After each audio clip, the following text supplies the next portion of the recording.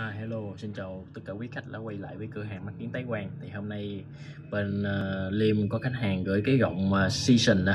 Đó, của bên uh, design của bên Hà Nội. Thì qua cho bên Liêm làm ha.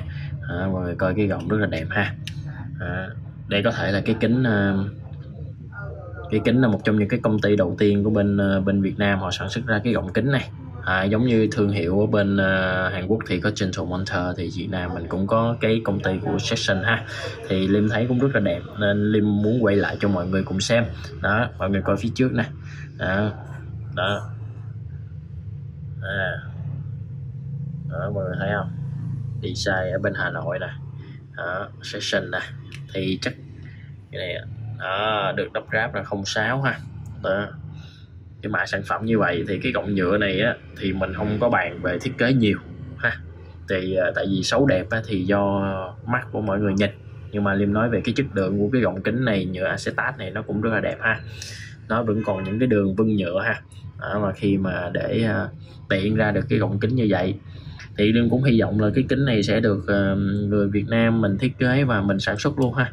Tại uh, tại tại trong nước Việt Nam mình chứ không phải là mình uh, chỉ là thiết kế thôi.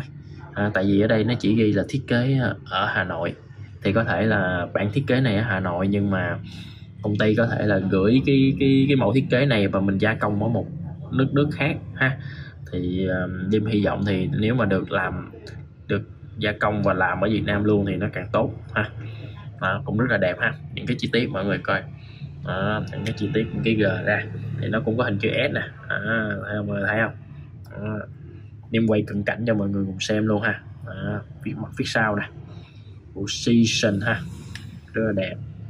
À, bản lời cũng rất là chắc chắn. À, rất là chắc chắn. Chứ không phải là loại dễ gãy ha. À, tổng thể cái gọng thì như vậy thì nó sẽ rất là nặng. Hay là góc cạnh cũng nhiều á.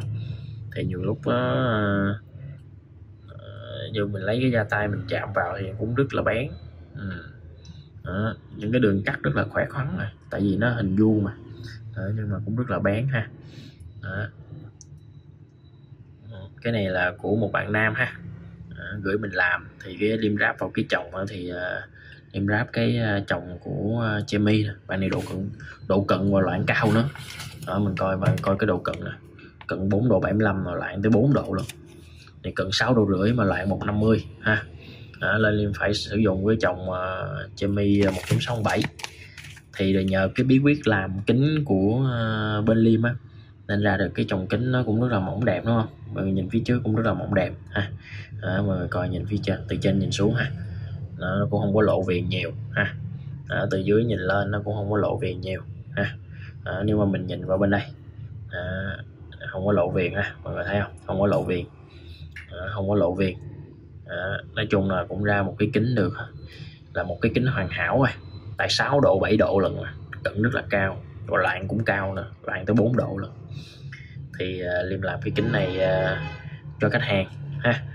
À, có sao thì liêm uh, liêm diễn tả lại trong những cái mà liêm đã làm cho để mọi người ai mà yêu thích về kính mắt đó, có thể xem và tìm hiểu thêm ha.